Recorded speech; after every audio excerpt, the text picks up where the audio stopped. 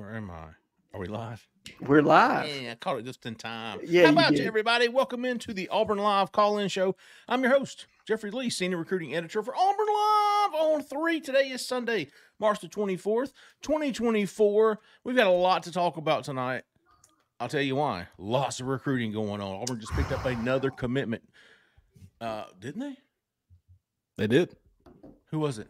Ty Buster. That's what I said.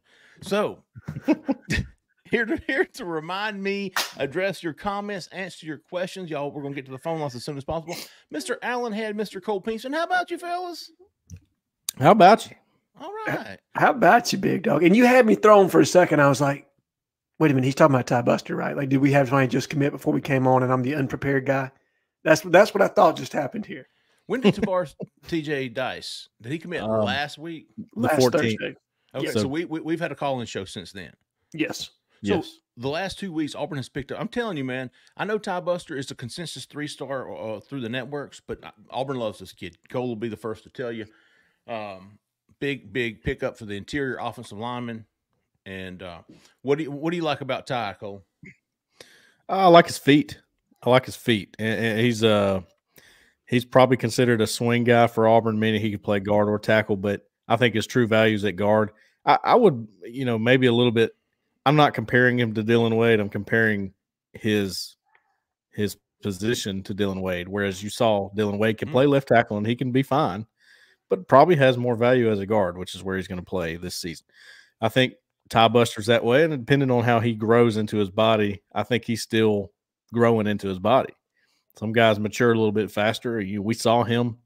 I think he's still growing into that frame. So uh, I like that pickup. Penn State and Florida were starting to get in there a little bit with him, but I really think Auburn just they got there so early with this guy. It didn't matter. They were going to get him. I, I, they they fought for him early, and and that's what happens. And, and I think they can hold on to when he gets some more buzz.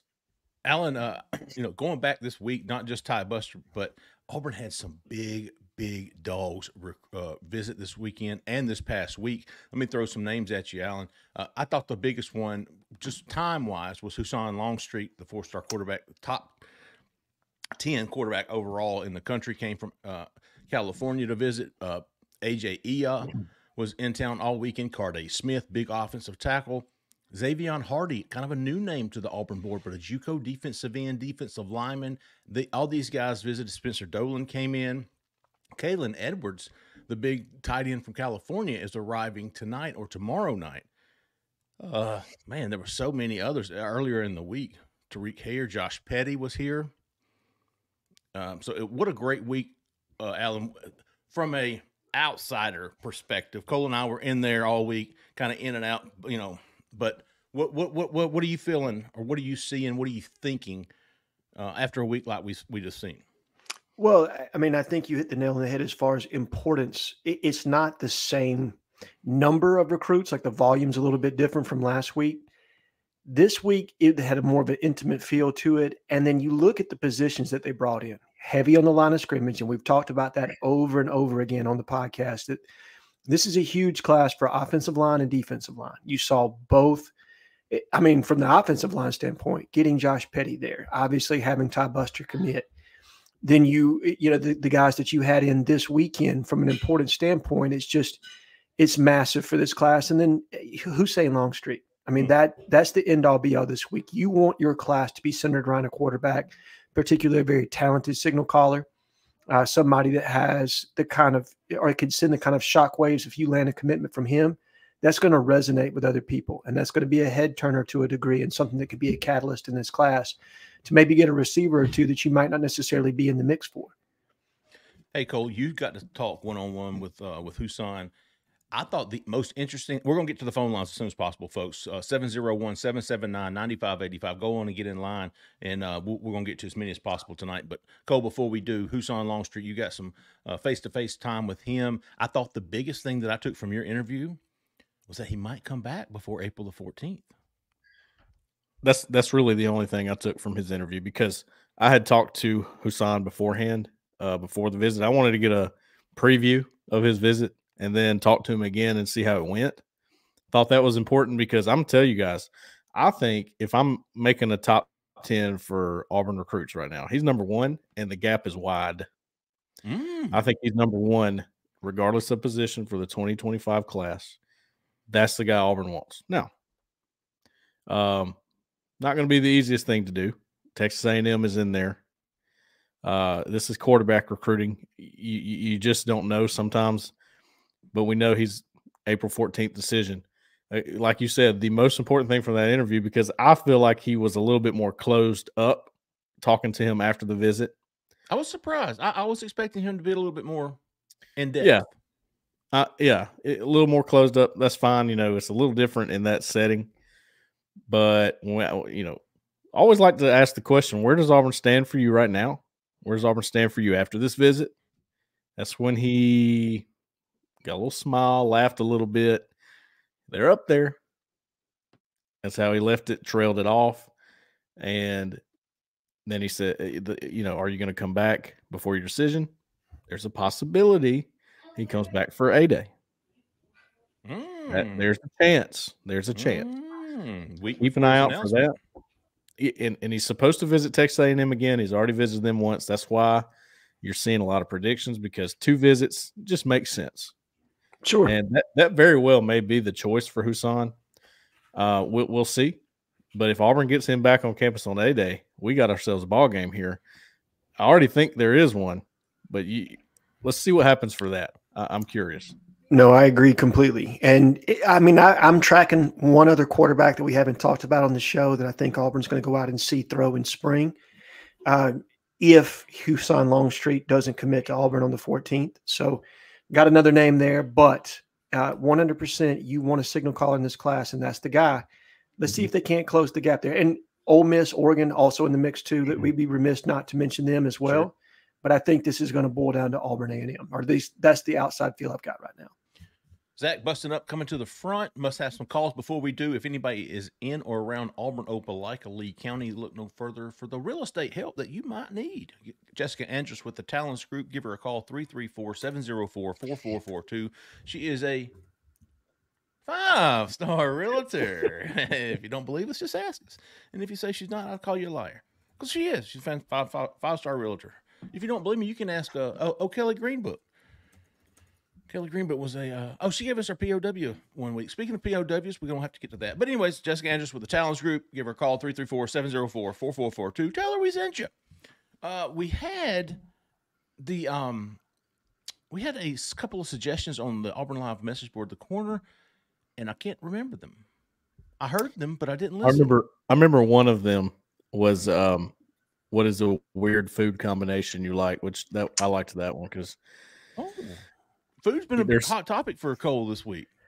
I well, it always is.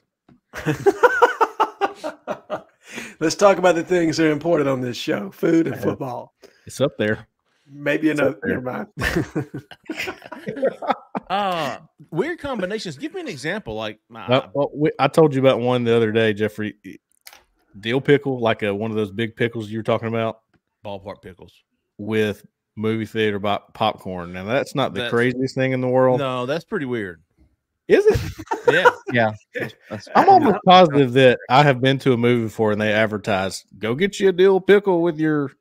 Oh, with they your have popcorn. for sure. It, they have. It's just not my style. Like I, am with Jeffrey. Sure. That's a that's a mix of like sour with and salty. salty. Yeah, yeah, that I'm, I'm not necessarily accustomed to. So y'all are all sweet salty. Mobile's Y'all are all out on enough to advertise pickles with popcorn apparently at our movie theaters. So maybe I missed that. Bro, I'm backwoods country. You know what I mean? Me and Cole, same neck of the woods here. So there's nothing. Enterprise, Alabama, absolutely. You're going to get a dill pickle and then some popcorn hey, mixed together, my man. I'll tell you this: when when Emily was pregnant with our son, mm-hmm. she liked a cinnamon crunch. Uh, you, you, lost me at cinnamon, first of all. Mm. Cinnamon crunch bagel with ham and melted Swiss cheese. Ooh. Yep. See, the only thing I could think of for me would be, you know, the pear salad. I mean, anybody who's make mixing pears, mayonnaise, cheese, and a cherry on top. That's, I mean, I, but that's fine dining in the South, baby. I mean, like, let, us be honest here. I mean, there are a lot of people that eat pear salad. It, it is a weird combo though, mayonnaise and pears. Yeah, I, I, can't, I can't think of uh, like a combo for me. I off the top. I can't either. I don't even I know where like I people- start with that. People will have good ones. There's some If, weird you, ones ha- out if there. If you have a weird combo of food that you like, let us know. If not, join the In the chat, they one person said ranch and pizza, which is a debatable combo. That's common. That's pretty Mm. common. I like that go ranchero, uh, I hab- can't do it, uh, man. habanero poblano ranch with uh, carrots and broccoli and celery. But I mean, That's that's, just ranch putting- dressing. Let's just put a little spice to it, baby. Ain't this nobody is fill peanut butter. nobody eating might have to mayonnaise and peanut butter. the chat. That's No. crazy. He's a he's a he's a serial killer. One hundred percent. And to steal Anthony's line, absolutely a serial killer. If you're mixing mayonnaise, And peanut butter. yeah, no, I'll no. tell you what. it- everybody who tells me they don't like ranch, there ain't no way we're eating the same ranch. There is nothing I- I better hear than you, man. homemade tell you what, ranch. Cole, uh, Little Reds, Little Red, Oh, Red. Schoolhouse got the Yes. best homemade ranch dressing. I'm telling you. Oh, No, I, Fantastic. I'm homemade ranch. Now, look, if you're getting like Hidden Valley from the No, I don't grocery eat that. store, okay, okay, like I don't eat that. I can understand where somebody's got their nose turned up at a little bit of that. I'm a Okay, ranch. I'm a ranch snob, Alan. You're a Ranch it's- connoisseur, I hear you, call. It's got to Mm. be homemade. Apparently, people's weird combos all have to do with peanut butter. We have mint ice cream with peanut butter, which that I can't get behind that. And then someone said pizza and peanut butter. Yeah, no, man. come on. Uh, you, No you- chance. Then You're not even eating pizza. You know what I mean? Like that's a whole you other think they're just concoction. m- making this up. Got to It be. might be. I, I'm not going. to. I'm not going to take the worst one I've seen so far. look. I'm not going to take the comments too seriously. I want to hear somebody tell me what they eat. If, if we're going Peaches to do with that. Let, let me hear their voice. Okay, Peaches let's go, with- yeah, peaches with let's go to Kevin. Kevin for Wilmer will be our first There caller. he is. That smells like some sex up in You're here. wild, Somebody's man. that, man. Kevin from Wilmer, Alabama. What's happening, Kevin? I got three questions for you, Jeffrey Lee. Okay, Kevin from Wilmer.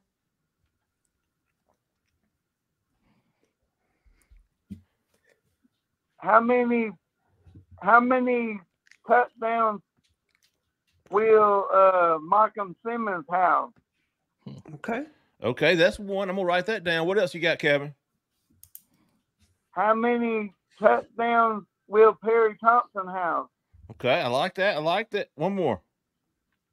And how many interceptions the uh Demarcus Riddick get? Oh, interesting. Okay, I, I I, I like it, Kevin. Uh, These are I, I like these questions because it'll get you talking. Because you've got to you've got to start at the top with with these guys, how much they're going to be playing, how many projections as far as uh, targets they get each game. Demarcus Riddick, how much is he going to play? How many opportunities is he going to have to have an uh, interception? So I will, uh, I will put the I'll set the over under at Demarcus Riddick at 0.5, half an interception. I will put the TDs for Perry Thompson at one and a half. I'll put the Malcolm Simmons at a half. Okay. Because I think So- he's going to redshirt. I, I see that's my that's my thing. I think he might get a look in four games. Malcolm Simmons. I don't know that there is a glaring need. He might just be so good that he gets in in the fall, and, and I, we don't know. But he's not here in the spring, same as Perry Thompson. Although Malcolm Simmons has been at every practice that I've been Yes, up there yeah. for.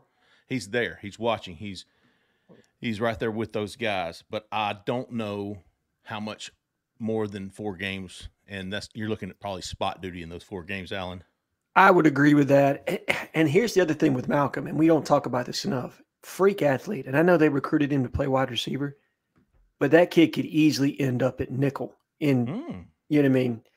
As as far as DJ Durkin's defense goes, I mean, if they get over there and they realize, like, hey, he's better suited to play on the other side of the ball, there's nothing that would prohibit him from being flipped. Now, I think Malcolm Simmons thinks he's a wide receiver. I think Hugh Freeze believes he's a wide receiver, and he's going to get his first, you know, look there.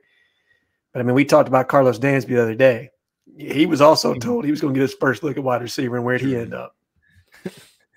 in the NFL should be. I mean, at, at Yeah. linebacker. Well, Yeah. think about Rudy Ford got his first look at running back, and then ended up becoming, you know, a, a fantastic defensive back at Auburn. Tyrone Green. Yeah. Defensive a lineman. Guys. I've- There's a lot of guys that have ended up like that. Hey, watch out for Malcolm Simmons as a punt slash kick returner. Okay. Watch I out. thought I thought you were going to say emergency punter, and I'd Let buy that one for Cole. sure. Let me ask you this, Cole. Emergency punter too. Do you think they would burn his red shirt just to return punts and kicks? No, no, but um, I think getting Keionte Scott out of that role would probably be good. Uh, I completely agree. Now, I, I don't know if they'll agree with that. They may not, but Is it Keionte seemed- too valuable on the defense to risk him in the special teams? Eh, See how much how much better is Malcolm Simmons in the field as it pertains to returning punts and kicks. That's what you don't. eh, I mean, he's he's special in the open field. There's no question about that.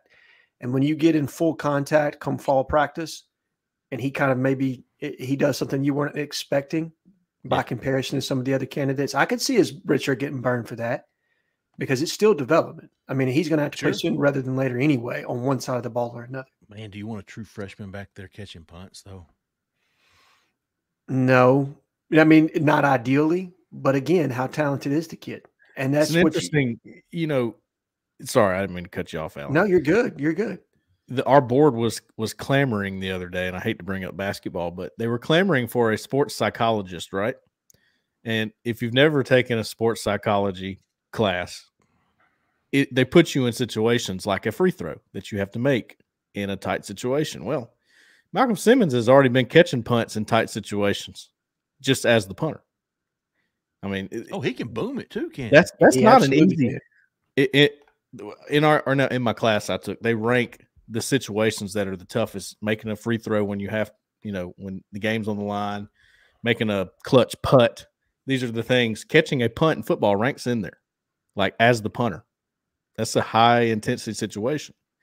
So I think that if there's any freshman that could do it Malcolm Simmons is the one that comes to mind to me. Yeah, I mean, it, Okay, so so so one, uh, will Malcolm Simmons have a receiving touchdown at the end of the year? No I'm going to say no as well. I'm gonna take, yeah, I'm not me neither. I am going to say he's going to have one rushing touchdown though. no Is he gonna take a, a carry away from Jeremiah Cobb? I think he might get one on like a jet sweep, something Yeah, of that he nature. could. He could. 23, big dog. If you're not giving it 23, you're doing it wrong. Yeah. I will say this, man. I, I really like Derrick Nix. I really like DJ Dirk, and I finally got some, some to, to, to meet and talk a little bit more with them as well as uh, Charles Kelly. Fantastic guys. I really Mhm. like them. I'm really curious. And, and I tell you what, if you didn't watch the Derrick Nix interview, I think uh, I think JG Tate asked him about calling plays, and he goes, "You're looking at him. yeah, Who, he like, who's did. gonna call the play? You're looking at him, big dog." So uh, that'll be uh, that'll be interesting. This season's going to be a lot of fun. Uh, Perry Thompson, one point five. He's coming in in uh, July, maybe June, July after he finishes high school. He'll be in for summer workouts. Is he going to get enough targets? Because we've seen we've seen some wide receivers s- step up. I see. I still think he gets in the two deep. I still think he gets in the two deep, and I'm going to go. Yes, he's going to have more than two. Uh, he's going to have two touchdowns, so more than the one and a half. I think so too. I agree Does anybody remember what I set Cam Coleman's over and under at? Like four and a half, Four and a half, I think. Yeah, like that. and I think we I all think went with the over Higher is a range, if I'm not mistaken. six to eight on the range. Yeah, there you go. I think so. So, I So, mean, we're going. If you and then- combine all four of them, you're saying that this freshman class is going to have 10 to 12 touchdowns this year combined between the top four guys. Yeah, yeah. Don't See, I about went. Bryce un- Cain. I went under on Bryce because I just don't know in the slot how how much. we have him at two and a half. Yes, Two and a half, and and I, I thought one or two for Bryce Cain, probably two to three for Perry Thompson, five to six for Cam. So Yep. yeah, ten to twelve in this freshman class. Malcolm, if he gets in there. Uh, uh, now Demarcus Riddick. Uh, Kevin wanted to know about interceptions. I'm putting it at a half, and I'm, I'm taking the under because I, I, think Demarcus ends up redshirting. I think so too. But I think that's as talented an athlete as he is. And, and Cole Jeffrey, please get in here. And you guys have seen him live in action. But as talented as he is, he's still learning how to play linebacker. He played all over the defense in high school, where he would be a rush outside linebacker at one point, a deep safety at another. I think there's even clips of him playing cornerback on his high school tape. so to be a dedicated linebacker and to learn to play in the box, which is Hmm. probably one of the most difficult positions to play on a football field when everything's coming at you so quickly to train your eyes and your mind to process at a speed that you're not accustomed to that's going to be really difficult. Now maybe they drop him back in coverage and use him as a star or something of that nature and that's where you get your interception. But i tend to believe they're going to try to treat him as an in the box linebacker and get him up to speed and, and keep him in that one spot. When you have young guys you want to train them in one spot let them get a feel for the college game, and then you'll start to expand them. You don't want to put too much on their plate to begin with. But Cole, Jeffrey, what do you guys Cole, think? Cole, what do you think about him physically? Because we've seen him more than anybody coming through the halls. Demarcus is always in and out of there, coming over to say hello. He looks thin to me. But Cole, you know more about this than I do. I don't know that he's fit. When I'm looking at him in street clothes, I'm going, man, you know, I don't see this SEC linebacker. I see a high school kid who will be. But Yeah. I, what do you think, Cole? You know more about it than I do. Yeah, well, that's the good to me. That's good news. He's he's he has not reached his potential with his frame yet, and I think he's a 230, 235 pound guy when it comes down to it. He's probably 215 right now, maybe you. 220. Um, but that is good. That is what you want. And look, he, he I mean, usually a guy of his age would be going to prom right now. Yes. He's at Auburn. He's at Auburn already. Um, so I, I think he's got some developing to do from a physical standpoint. From an athletic standpoint, there's you can't create a better linebacker in the lab, really. You just got to get him. Look to play in the box, just like you're saying, Alan. You got to have a screw loose. Yes. Something's got to be wrong with you in the head. It just helps. about. It- You, you got to want to take on guys that are 100 pounds heavier than you coming downhill at you, mm. That's right. And- bounce off that. And if you don't have a screw loose, you have to be coached how to be that way. And I'm not saying I don't know whether Demarcus Riddick is that way or not, but he's more he's more apt to covering. I watched him cover a lot in high school. So that for that reason too, I think it's going to take a little bit of time. So i- Total- if I'm picking on Kevin's question, it's the under for sure. Do you think he's? Do you think he sees action in four games? What if I put the total tackles for, at ten and a half for Demarcus Riddick? I think he's going to play on special teams. Now, this I don't think he's going to redshirt. I think he is going to be on kickoff. You know what I mean? Multiple coverage teams for Auburn. I think you're going to utilize that speed and Definitely. athleticism as a way to integrate him and get him accustomed to the speed of the college game because like you re- you realize that this is a kid that's trying to be at Auburn for three years and in the NFL. Like that is his plan. So you might as well maximize him while he's here. Ten and a half tackles.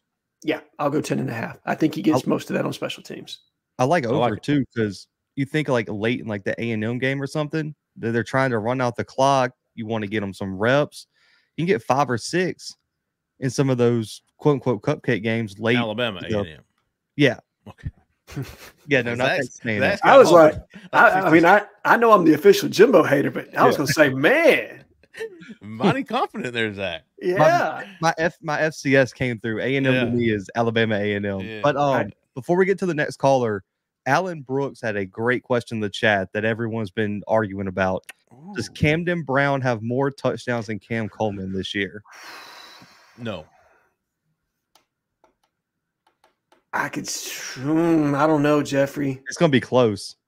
I, Okay, help me understand this. I, I could see them two on the field at the same time. right. Okay, is it? I mean, that, that, is that? Yeah. Okay, Sure. But if they're rolling, cut, all right. So here's the thing. man, he might benefit from Cam Coleman being on the other side. That's what I'm saying. Are they rolling coverage Cam's way? And then where's Rivaldo Fairweather on the field?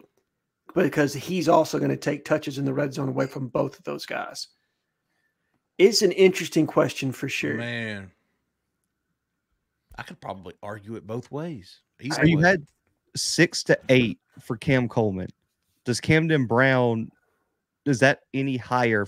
Is your projection any higher than six to eight this year? who do we think is going to lead the team in touchdown receptions this year? Fairweather. Besides, besides Rivaldo. Oh, ooh. wide receiver wise, who's going to have the end up with the most touchdowns? Is I it going to be Camden Brown or Cam Coleman? Is it going to be Robert Lewis? Is it going to be I think they're going to feed Cam. I'm going to be honest. that? I th- I think Cam's going to get more touchdown targets than Camden. I agree. That's why that's why I went to Cam Coleman. I think he's going to have more opportunities. But man, but then you make a great point, Alan. If they're double teaming or shading the safety over here on Cam, what does that leave with Camden? I agree. I mean, if if they cheat the coverage and roll the safety to that side, and you got one on one to you know what I mean on a fade ball with an undersized corner, what are you going to do? And you got to so you've got to respect Cam Coleman. You've got to respect Rivaldo Fair, Fairweather certainly in the red zone. And then uh, you know whoever that third guy is, fourth guy, the slot you- you, are going to have the slot, and you're going to have a, uh, I guess a Z out on the outside if Cam's at the X. Yep. And if you get a decent pass set, like you said, you've got several big bodies down there. Plus, if you're running the RPO on that, you've got the running game you got to account for. Jared, uh, not Jarrett Stidham, excuse me, Peyton Thorne. You wish. Yeah, no, no doubt. Um, Peyton Thorne also back there, who's got mobility in the red zone. So it's going to be interesting, man, to have that many big bodies down there that we just didn't have last year. I mean, you heard Ken Austin talk about it this week. Cole, you were there for the interview um, on the play that they repped for the Iron Bowl specifically that was fantastic. when he hit VAR on the backside right in the face mask. Think about if that's a different receiver. If that's Cam Coleman in the back of the end zone, he's hitting him right in the middle of the numbers, not in the face mask, Ball right? game. As Ken Austin said, ball game. Yeah. Man, on paper, I've I said this, man. On paper, Auburn's offense, if you can find a damn quarterback, and I'm not saying they don't have one, but if you can see an uh, an upgrade at the quarterback position, whether that be Peyton Thorne upgrading his play from last year, the, on paper, this offense is probably the best on paper we've seen since Gus's 2019. Yeah, because who did you have in that lineup? You had Bo Nix at quarterback. Seth You had- Williams, Anthony Schwartz. Yeah. Seth and Anthony. And the difference is you had those guys were were vets. Okay, let's be fair. Your your targets are going to be younger on the outside, but the running game probably is not going to be as good. I mean, it, it- the, I think our running game is better with Jarquez because you have Boobee Whitlow in the backfield that year. It's And it's a better, Shivers is it's the a better room. Who was that? Shivers oh, was yeah. backup. Oh, and don't forget about Shaun just absolutely taking somebody's soul That's- down there on the goal line. what I forgot about that because one. I was at that game. It, it was um Xavier McKinney. Yeah, That's right. That's off. They- they- hats they off put all a- over you, Kenny. They put a cross up at the back of the end zone. Wasn't Kam Uh, Martin in that rotation too? Yeah. yes. Yeah. So Kam Martin, Boobee Whitlow, and Shaun Shivers versus Jarquez Hunter, Damari Alston, Jeremiah Cobb, Yeah. Give me this backfield for sure. Brian on paper, Batiste. On, on paper, this could be fun to watch. All right, Zach. Good stuff, Kevin. Look at him. He got us talking for 20 minutes. Appreciate you, big dog. I believe we got Anthony here. Anthony, you're live. Fellas, fellas, What is Hello, up, Anthony? Anthony. how y'all doing tonight? Fairly well, Anthony. What's on your mind tonight, big dog? What you got for us? Hey, y'all know that was my question about the weird food combination, right? That was you? Yes. Was it really? that. Yeah, okay. Oh well, let's hear it. How about you, to uh, Anthony? It it might not be weird, but I think it's some it's weird to some people. Mayonnaise on a hot dog. That's a weird. No, I, combo. I, I'll go for that. I'll go Nah, for that. I've, I've, I've never heard that. That's not as bad as some of the other ones we've heard. Mayonnaise and peanut butter sandwich. You gotta try it, Jay Lee. It's, it's good. Mayonnaise one. I mean, it sounds. No, I mean I put mayonnaise on there, but that's not all I put on there. I put a lot of things on there. ketchup, mustard, mayonnaise, kraut, onions, No, Peppers. just just mayonnaise. just mayonnaise on a hot dog, and that's it. You got you gotta load it down on load it down the mayonnaise. when you eat it. Oh, Anthony. You're talking to a guy that just puts spicy mustard on his man with a little bit of ketchup. Sometimes, if it's a hot dog, if it's a bratwurst, it's just the spicy, uh, the spicy mustard and, and some onion. Ah, I can't do the mayonnaise, man. Mayonnaise on a hot dog. Interesting. Just, just mayonnaise. I will. I will. I will give it a try because I didn't think watermelon with the Tajin sauce, uh, salt. And listen, that I won't ever eat watermelon without it. Yeah. All right. Mean. Take, Now, do you- Go ahead. I'm sorry. Do y'all ever eat banana sandwiches or tomato sandwiches where it's like mayonnaise and then just Sure. the tomato or the banana? I don't do I don't do banana, but yes, tomato. I used yes. to back in the day. bro. My dad used to do some poor man's cooking, and he'd go get a bucket of fried chicken and make a banana sandwich for us. Call it a king's meal. yeah, my dad was notorious for mayonnaise and tomato sandwiches. Yes, uh, mayonnaise and pineapple sandwiches. Is that a weird combo? little, but I, I can I can see it. Pineapple it- sandwich with mayonnaise. Uh, what what was the other one? Banana, banana and mayonnaise. Yeah, Maybe banana peanut butter. Yeah. When you guys were talking about like when when your wife was pregnant, Cole. When mine was pregnant, it was pineapple and ice cream Snickers bars. Man, like it was. I, I just got me some ice cream Snicker bars the other day. Did you? Another one That's- that's she did. stuff. She take one of them Honey Crisp apples and put peanut butter on it, and then roll it in um, cocoa pebbles. Oh, that, that Pretty sounds good. delicious. I'm gonna be honest with you. it does. Sounds like it might be good. yeah, my inner fat kid is coming out on that Hey, one what, for that sure. sounds like something I'd like if I went out to Colorado and ate one of them gummies. yeah.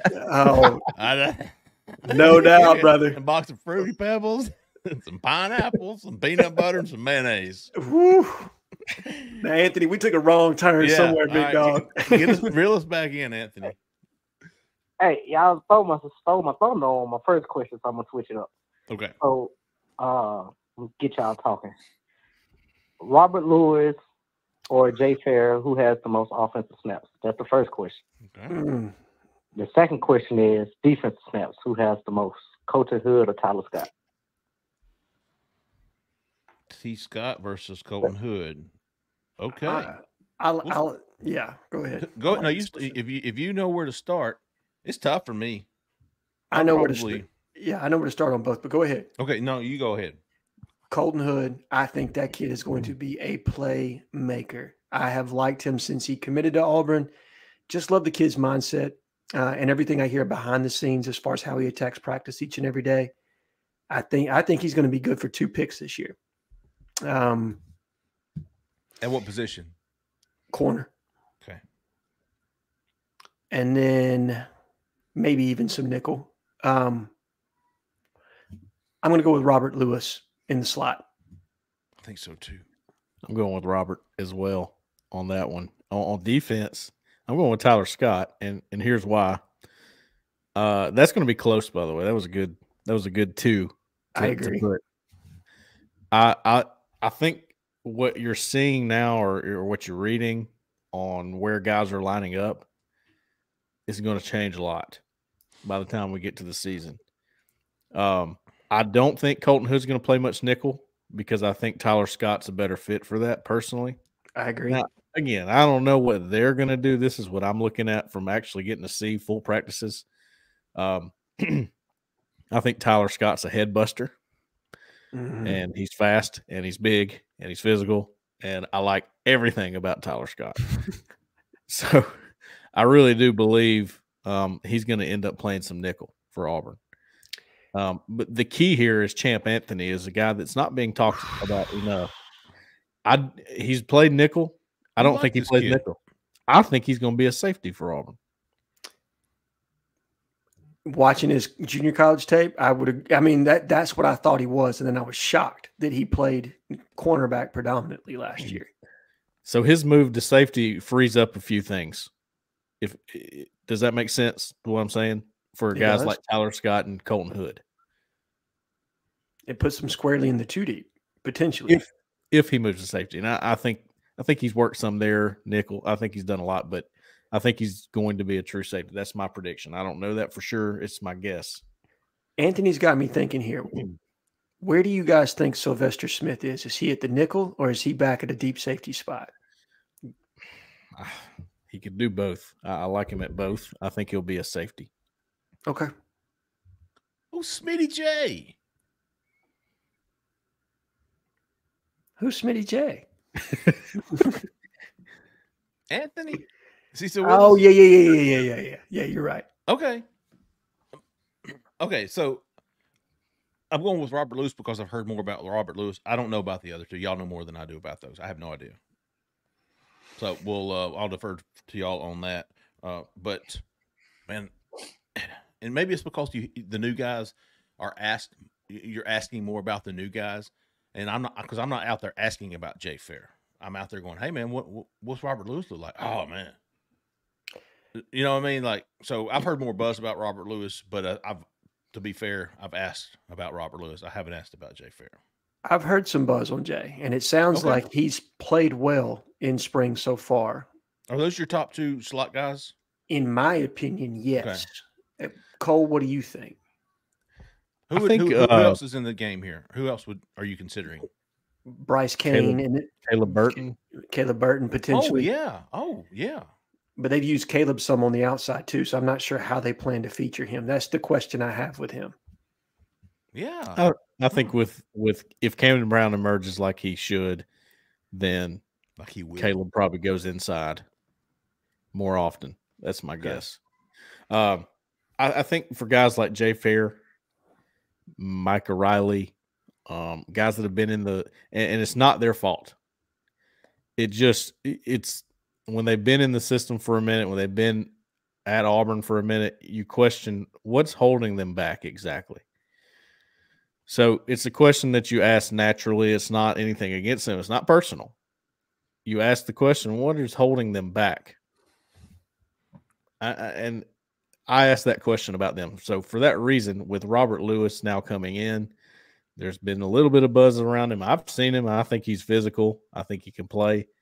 Um, I, I'd pick him uh, because I do have just the smallest little concern about a guy like Jay Fair. You know, you've been there for a minute. What what has led to you not playing as much or being the playmaker that we think you can be? What I can't help but ask that question.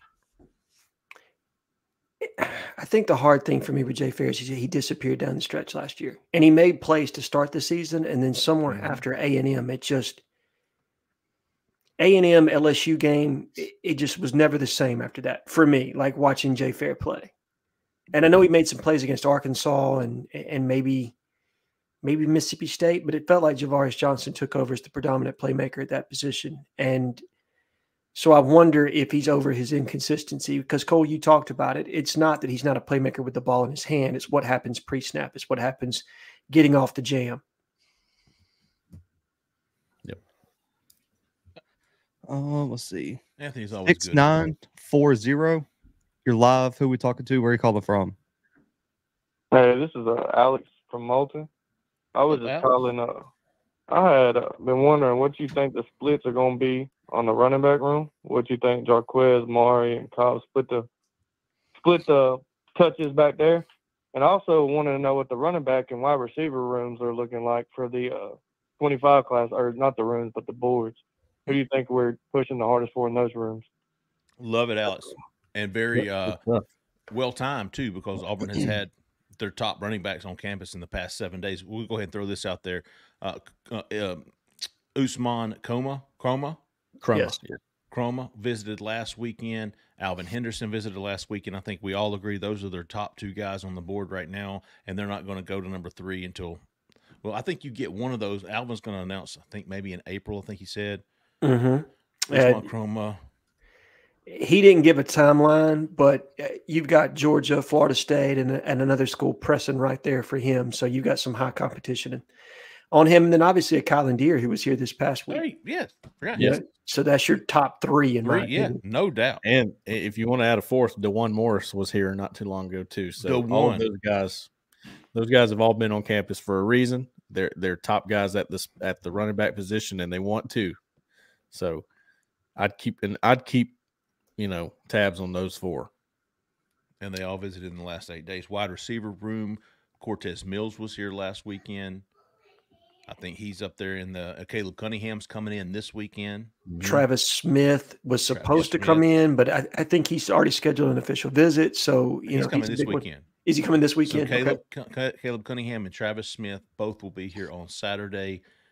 Cortez Mills was here last Saturday. Who's the kid from Milton? Um, from yeah, Um, CJ Wiley, yes, CJ, CJ Wiley Wiley has been here. hmm Derek Smith is still in there. Very much involved. The young man from Carver, Oh yeah, TK Norman. TK Norman, uh, Dylan Upshaw, who's been here a couple different times. I know that Eh, some national guys have reported that Miami is going to be hard to beat there. They seem to be the team that's pressing the hardest with him. But if Auburn turns up the heat there, I got to think they're going to be squarely in the mix with him. You know, we, we've we- we've said even going back to February when we're, we're trying to put these lists together, man, March will tell us so much on where what Auburn's board looks like at these positions. And we've seen those four running backs come in in the past eight nine days. These wide receivers are all coming in. We know, and and, and what's great about being up there and being around it is we get to see the how they treat these guys, Right. and and, and usually that tells you kind of what how big of a priority. Um, Agreed. And this is not meant to be a shot at anybody. I'm using this purely as an example, but I saw where BOL, like in January, as a talking piece, did a mock class. And I don't even understand how you could get there without seeing March and how these kids visit and who's prioritized, and then kind of who they're going to go see in April. Like that would be the earliest I could absolutely roll something out and tell you for sure, like, hey man, with any level of legitimacy, this is this is what I think is possible in this class. Because like you said you just talked about it who they prioritize. There are a lot of kids they offer. You got a massive board of like 200 prospects you're trying to trim down to somewhere around 75 that you're really looking at going into their senior year Alex, I, I love the the first part of his questions. At the end of the year, fellas, when we look at the running back carries, and it's a total of, I don't know, X amount. What percentage will Jarquez have of those total carries? What percentage will Damari have? What percentage will will um, twenty three have? JC. We'll, we'll we'll start with those three. Are we talking 70, 15 and 15 uh, what are we talking about here? What do y'all think at the end of the day? Who's getting what, what is your percentage of total carries by running backs at the end of the year? I think that's the best way we could do it. So you've got Jarquez is definitely at least 60 wouldn't you say? I'm going to go 50 oh so he's getting one out of two ca- carries. Yeah i, I think it's going to be i think they're going to roll a good rotation this year.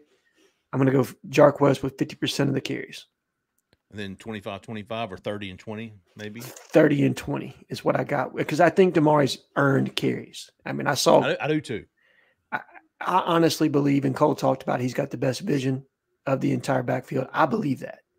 And if he stays healthy, I think he would have gotten closer to that percentage if he doesn't blow his shoulder out this past year because he was on a roll up until that A and M game. Now, granted, Jarquez was also not playing his best football at that point either. He was a little rusty for obviously having not participated, I think, in offseason conditioning with the rest of the team um, and was just kind of getting a feel for getting back into football. So that probably played a part in it. But I, I think Damari's a leader on this team, and he's earned carries.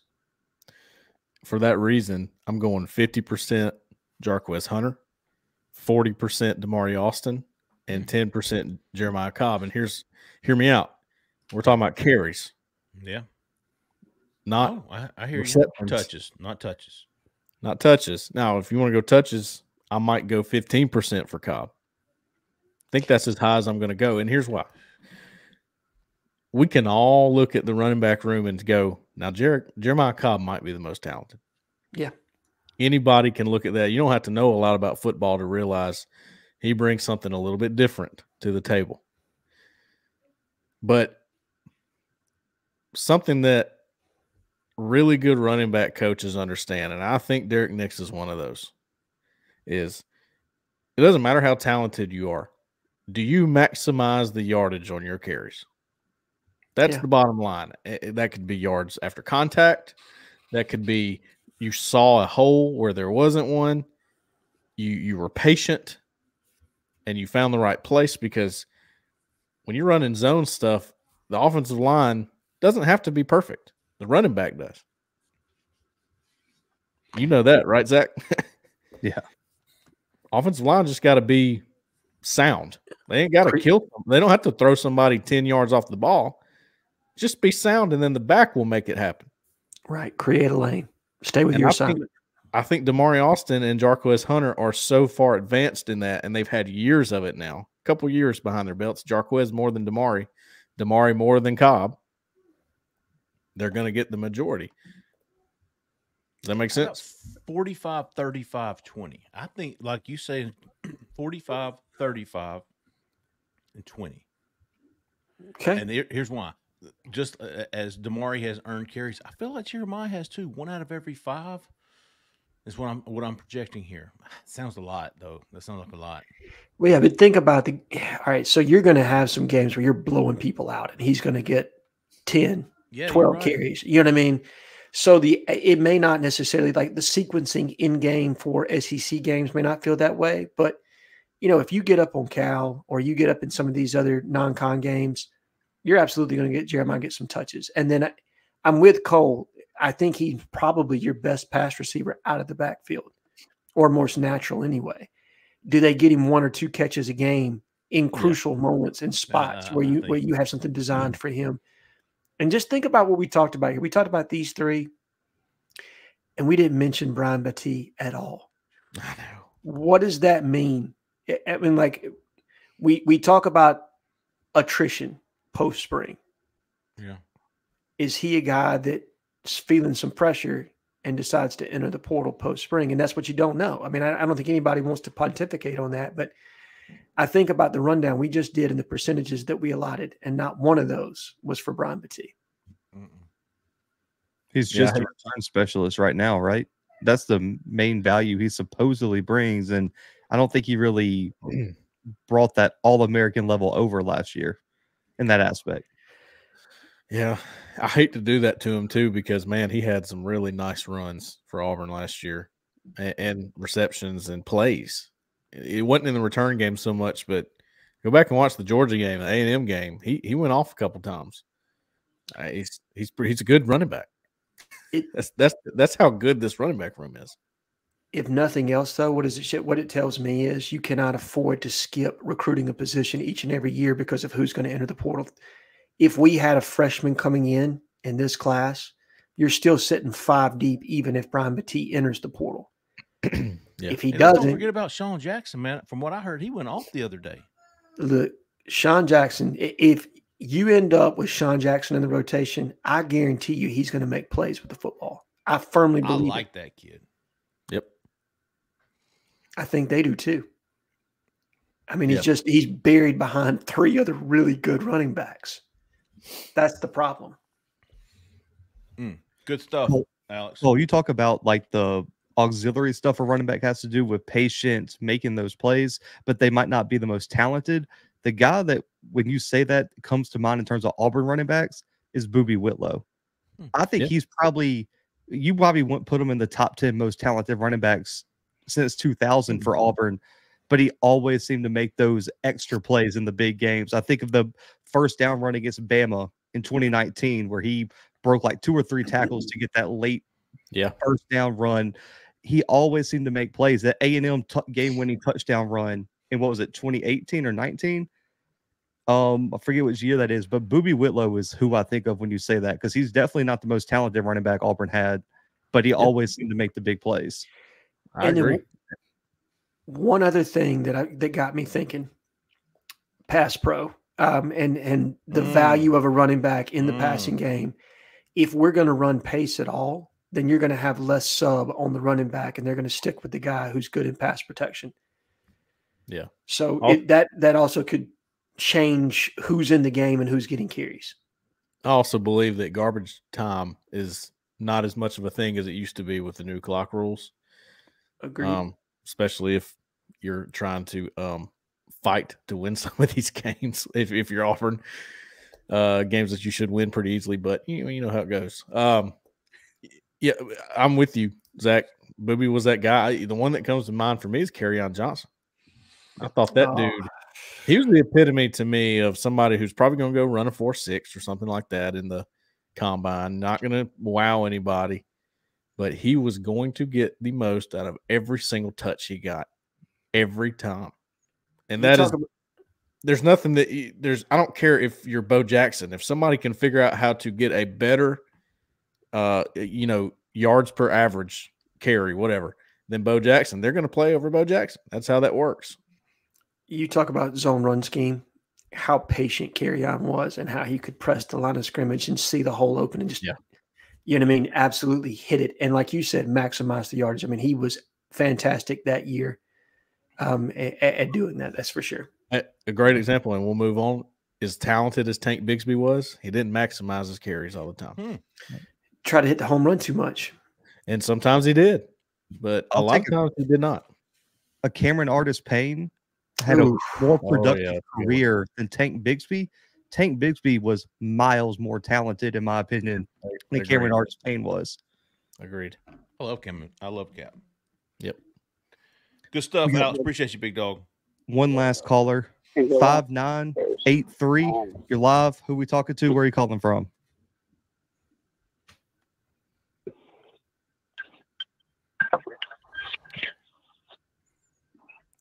Five nine eight three. You're live.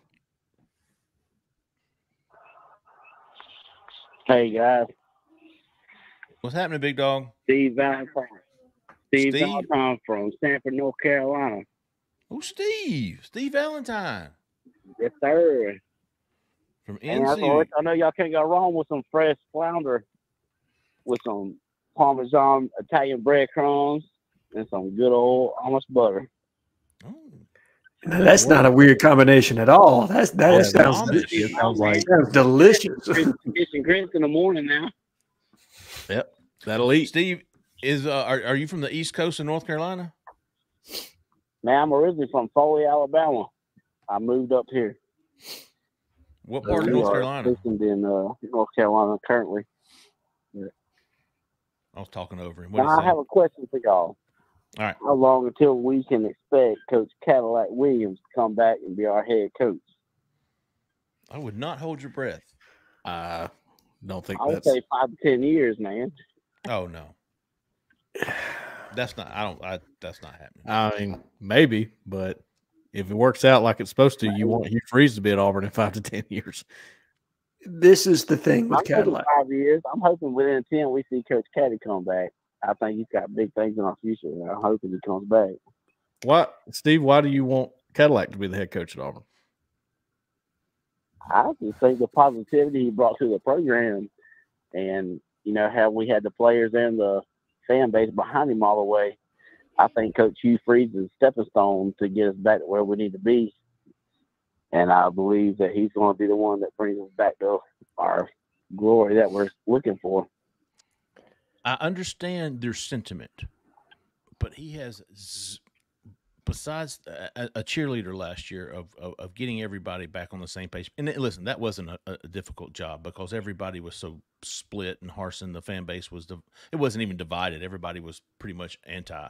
So that Cadillac gave everybody a reason. He was a a lightning rod for hope last year for positivity Exactly. but he has no experience running a college football program. Zero. He doesn't know how to set I up think practice. that's what he's working on now. He's a running backs coach in the NFL. He's not doing anything college related. I just, uh, I, I, I just hate to burst your bubble, man, but that, that's just not happening. Well, if, you were looking, if you were looking for an alum to come and be head coach in the future, wouldn't you guys look at T Rob before anybody? him or Zach Evans. I feel like they both brought good uh, chemistry to everybody, as far as the fan base and the you know players. I think it'd be exciting for him to come back. To be honest, And it would be until he lost three in a row, and then everybody would turn on him. and that's the thing. It- when you talk about hiring an alumni, if you lose three in a row, anybody's gonna turn on you. Possibly. But you think about the legacy that Carnell Williams has right now, right? Like how he's remembered. What happens? And, and you saw this firsthand. Mike Shula, who had zero head coaching experience, come back to the University of Alabama. And to this day, I know people that are Alabama fans and that know, you know what I mean, like that are aware of that situation. Shula will not come back to Tuscaloosa with the way that ended.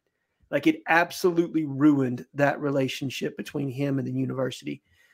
And to me, that's what you're looking at with Carnell because he hasn't now at this point. Now, what happens if he goes off and he becomes a head coach at a lower level and he really develops and gets into his bag and understands that there's, you know, I mean, there's so many different moving parts to running a program as a head coach right now.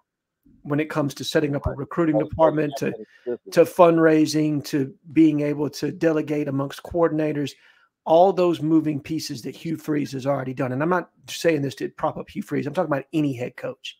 There needs to be a training ground before walking into a position like Auburn, where you're on the biggest stage and the biggest lights, and you understand how all the moving pieces work and the political aspect of being a head coach in the SEC, in addition to all of that. So to me, Carnell just he needs to mature beyond just being a running backs coach. And I know it's the next step up in the NFL, but that's not necessarily preparing him to be a head coach. That is teaching him more about the game of football, in my opinion. That's where you get your PhD in football. But that's not necessarily managing a team, a roster, recruiting departments, everything else. Right. NIL. Five to ten years. I think he'll be back. I honestly do. Okay. So You, you, you hope not, though, because if, if five to ten years Auburn's looking for a new head coach, then Hugh Freeze has failed. yeah, I was going to ask you, Steve, what do you think of the job Hugh Freeze is doing so far at Auburn? Just curious. As far as recruiting goes, I think he's doing great. I really do. I think he uh, is doing good as far as preparing the guys for the next year, and he's doing good as far as you know preparing for the years after that. And I'm excited about it. And I look forward to seeing what he's going to do in our future as far as this year and the next few years. I hope he brings the excitement that Carnell did to the fan base, even though it was temporarily. But I just, for some reason, I feel like Caddy will be back in our near future, and I think he's going to be on his vengeance, and I think he'll be prepared. Okay. I hear you. Well, I mean,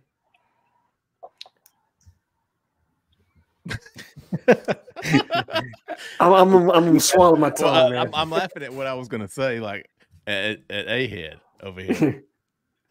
They're like a heads. Everybody's got one opinions. yeah, I mean, his is just as justified as anybody else's. uh, Sure, yeah. agreed. Steve. Agreed. And, and I if just Cadillac, disagree. I dis- I disagree with you. That doesn't mean you're wrong.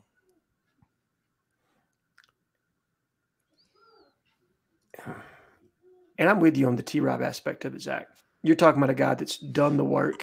You know what I mean? Defensive coordinator now at Georgia, been in, eh, you know, on different high level staffs and is truly, he's preparing himself at this point to take that next step of being a head coach someplace.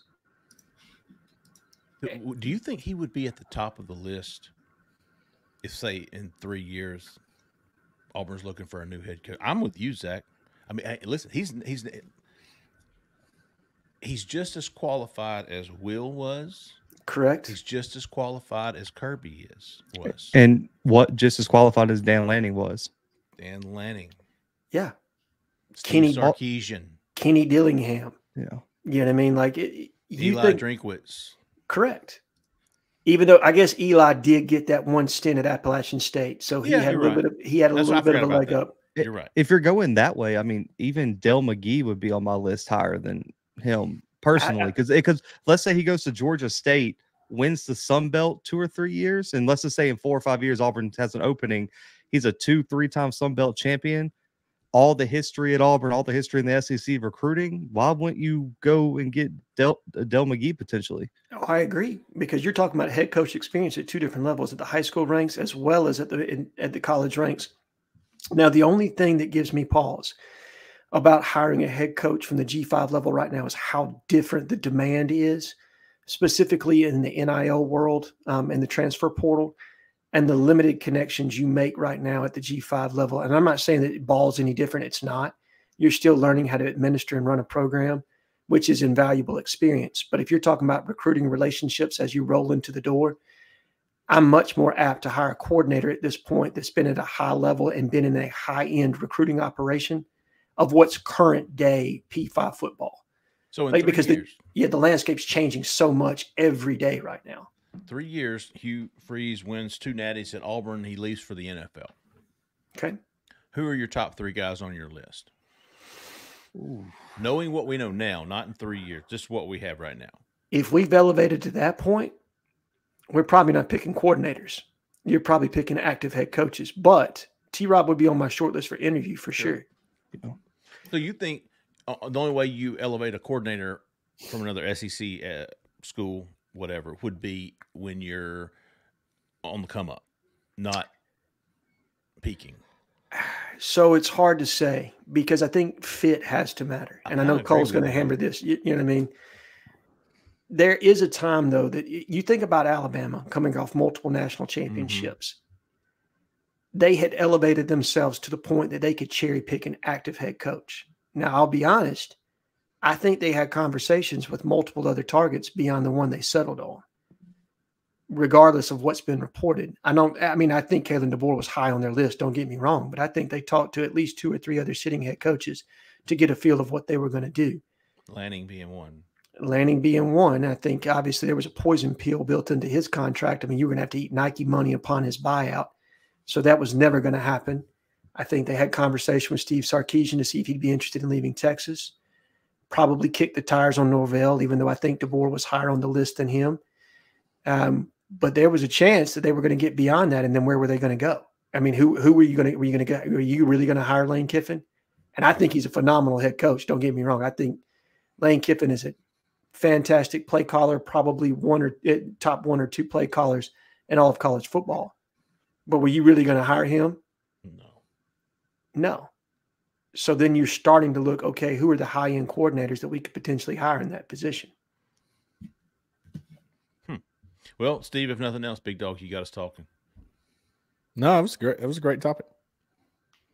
But I do think even if Carnell were to go out, I think Zach makes a great point. There's still going to be guys higher on the list than him, more qualified, even with Auburn ties.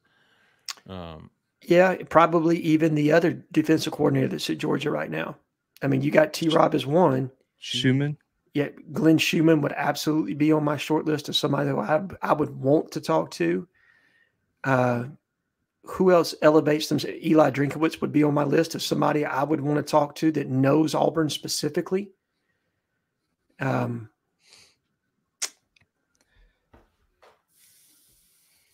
and then there's you got to factor in price point too, right? Because you got to pay somebody else's buyout. That's the other aspect of it too. And, and we just talked about Dan Lanning. I mean, Dan Lanning would be a sh- slam dunk of who I'd want to talk to, but would he leave Oregon to come to Auburn? well, the good thing is, is that somebody would have to pay Hugh Freeze's buyout to Auburn. Sure would. So you'd have some extra. It'd be the first time. scenario. Yeah, in this scenario, it'd be the first time Auburn's not paying multiple buyouts to get head coaches. You know what I mean? Hey, and if Gus is coming off, you know, a couple playoff runs, Oh man. Oh, hey, hey now, hey now. And I thought I was low thinking because I was thinking Mike Locksley, who just beat Auburn to death at Maryland. If he gets Maryland trending in the right direction like he has, You know what? Locks is a really underrated head coach in my He is. opinion. Maryland I is like a him. hard ass job. It is a hard job. Um, the Brohm guy at Louisville. I, I, I would absolutely have a conversation with Jeff Brohm. I think he's an elite play caller. Um, I think that I think a conversation's been had with Jeff Brohm before. I think you're right. Um, There I mean, is. I was going to say that's not the first time I've heard his name mentioned in Auburn head coaching circles. No. Um,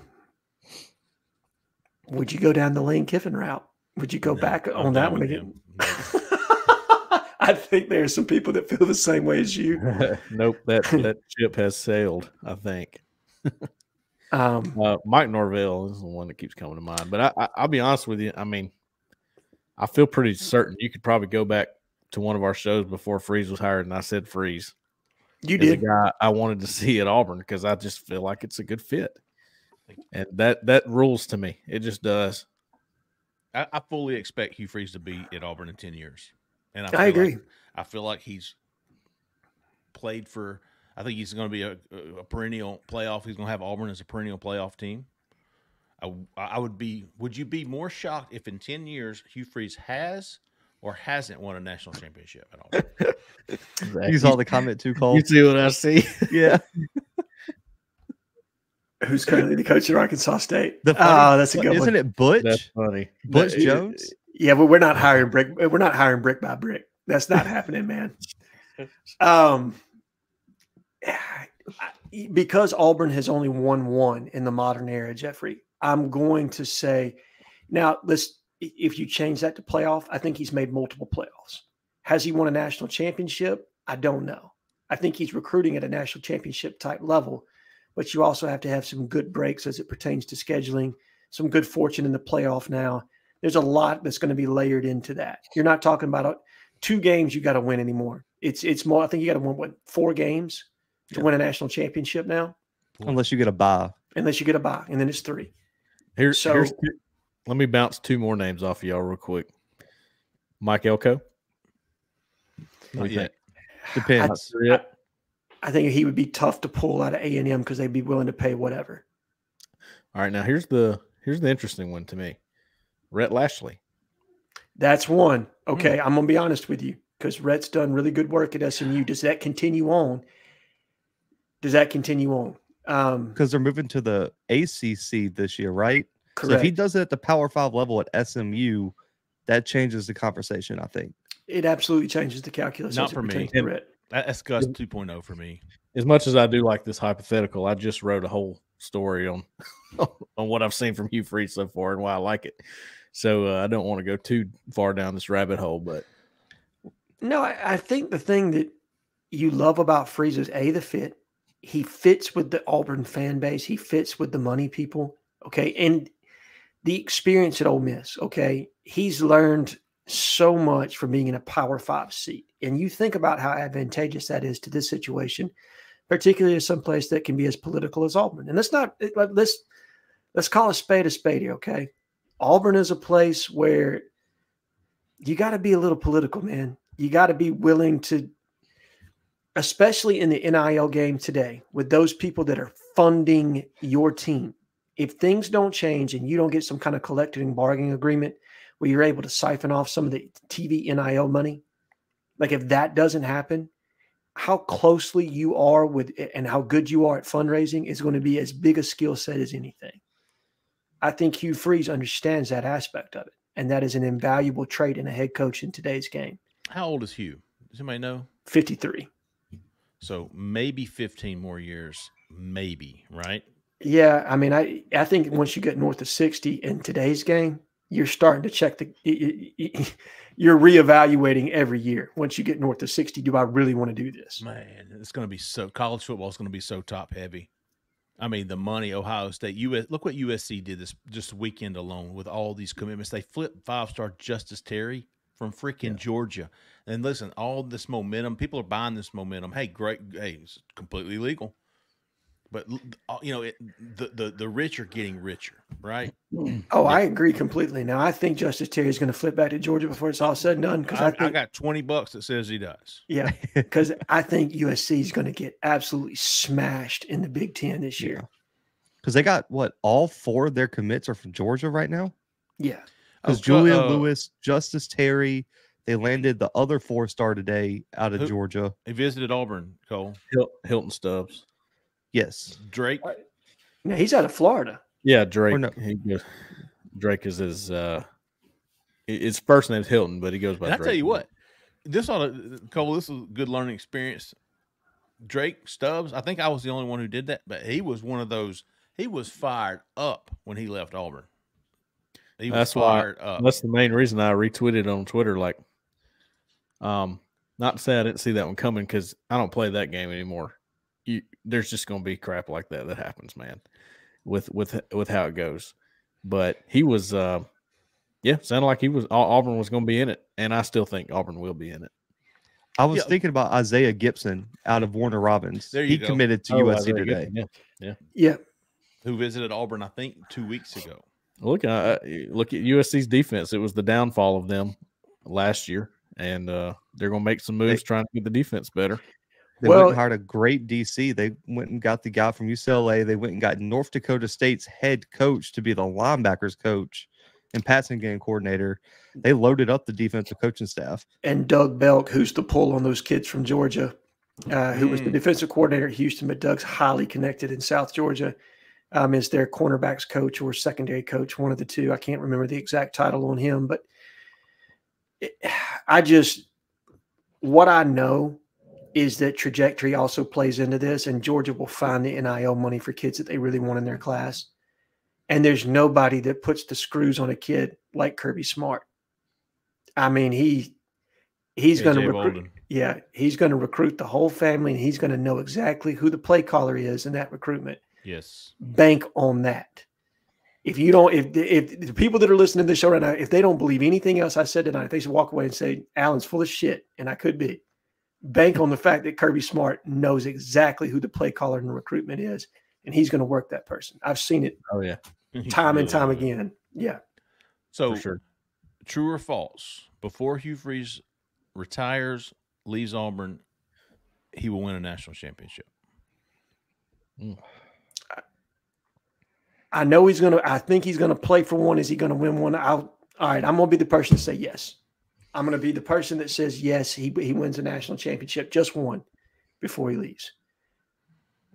Whatever that looks like. I think he's going to have Auburn perennial contenders in the playoffs in three to four years, and he will absolutely win a national championship. Before I think time is he, done. I think he could. Again, it's so dicey, man, because of the Yeah. playoff. It changes the dynamics so much. Okay, now is football more? Is it is it tougher to win in football than it is in basketball now, or will it be in football?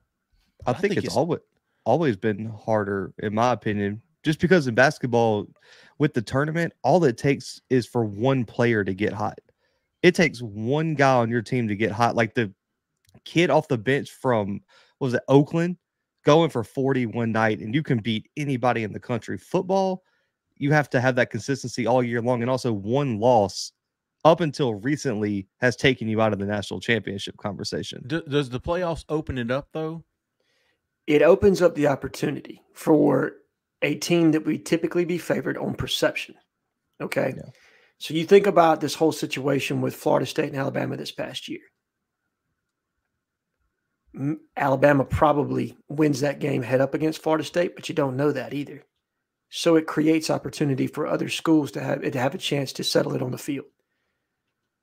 And how many times has I mean, think about the BCS alone. Auburn got absolutely jobbed that year. Mhm. There is no way Oklahoma should have played in that national championship game over us, the team that we had.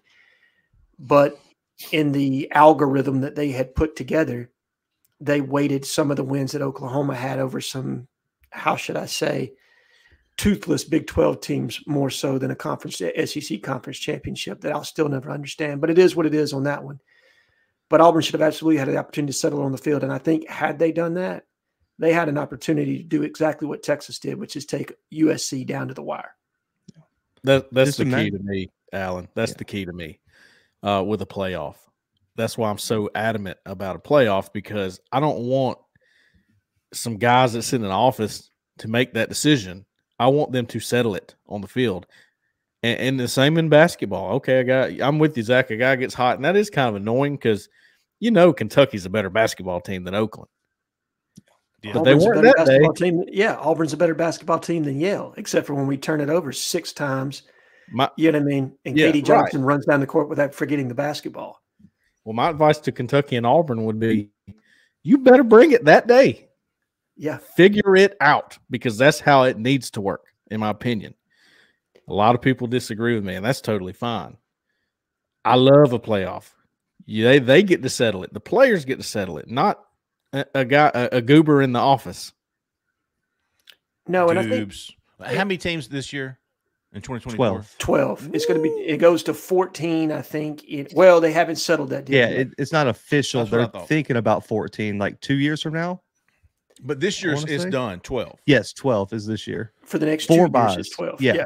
So it's four buys, and then you got the first round, which uh the, the first round will also be played on on on um on campus. That's what I'm talking about. I can't wait for that. Can you That imagine is- like Penn State, Bama Oh, at either Bryant Denny or like or or another whiteout in Beaver Stadium? That's gonna be electric. Think about the first playoff game in Jordan Hare and how absolutely just electric that environment's going to be. that's worth six and a half points just before they even kick it off.